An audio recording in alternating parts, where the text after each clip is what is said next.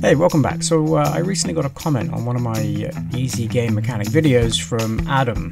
Uh, thank you for making these concise and straightforward tutorials. Please do one on getting materials from a sprite. So I said, like looting a chest, and Adam replied, I was thinking more like chopping a tree or mining a stone.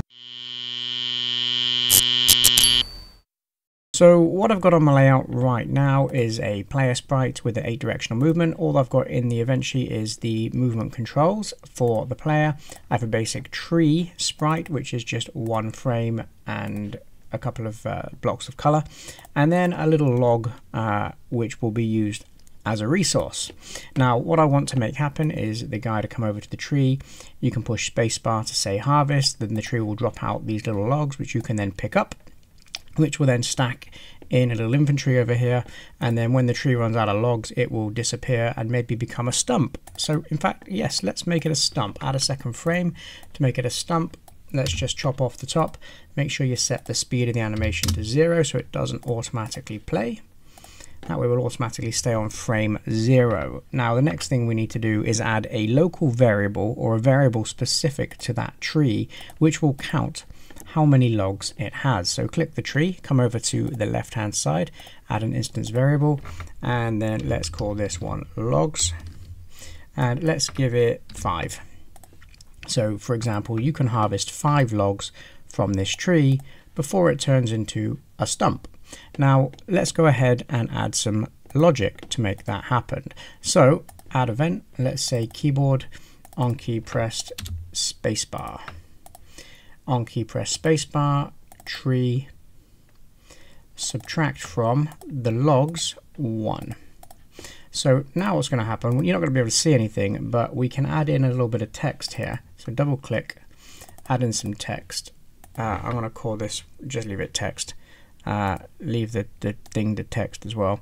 Um, let's say system every tick, and let's get that text to track how many logs that tree So we'll say set text to tree and then dot and then the instance variable we assigned was logs and every tick that's going to set that to how many it has. So if I push spacebar it goes to 4, 3, 2, 1, 0.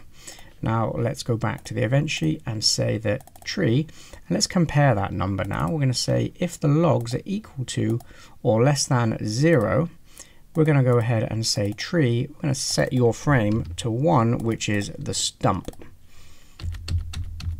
There we go. And now it's gone to 0.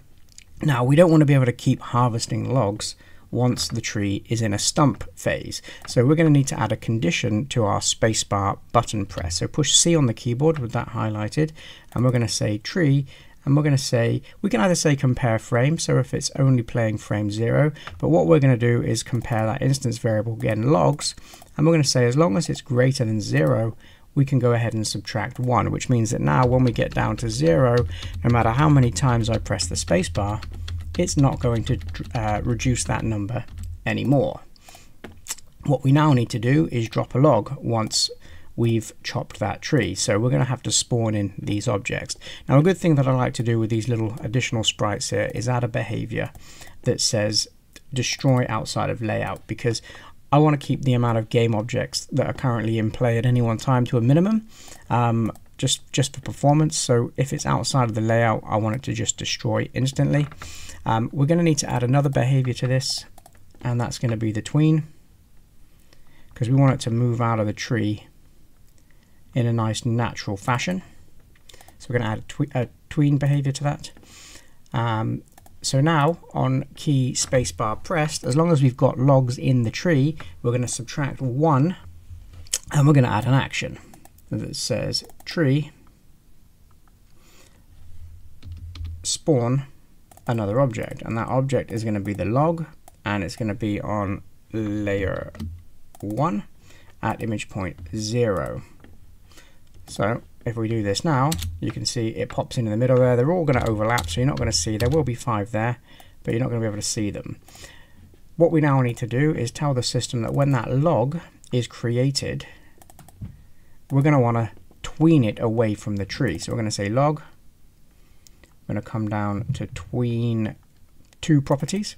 And that's going to be, you can select size, scale, position. We're going to leave it at position, and we're going to say the end x position is going to be equal to its current x position, which is self.x. And then to move it uh, uh, on the x-axis is left and right.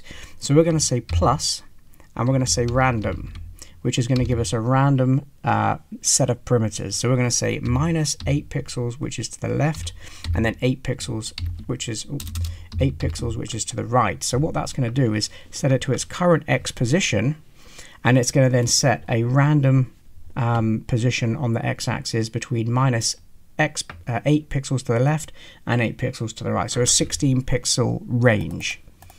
And on the y, we're going to say self.y, which is currently where it is. And then we're going to again say plus random because we don't want them to just go to the same place. and we, we're going to always want these to move down. So we're going to say plus 8 and then plus 16. So again, you've got that 8 pixel.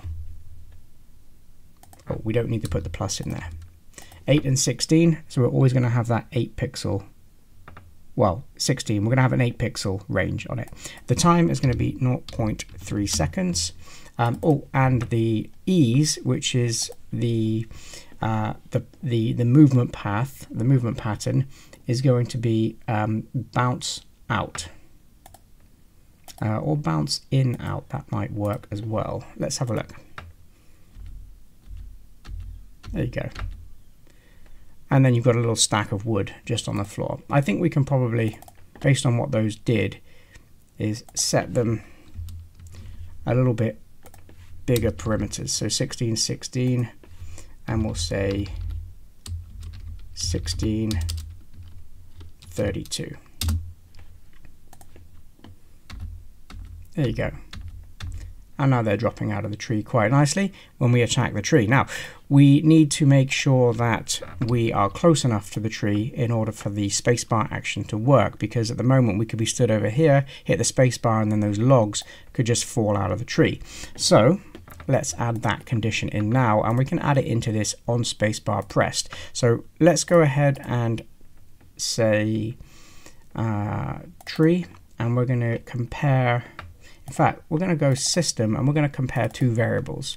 The first variable is going to be the distance. If you just type in distance and we're going to say player.x, player.y, and then the second object is going to be the trees x position and the trees y position. So we're effectively saying if the distance between the player and the tree is less than or equal to 16, then we want something to happen. So if we drag that up just above, we can click and nest that in underneath.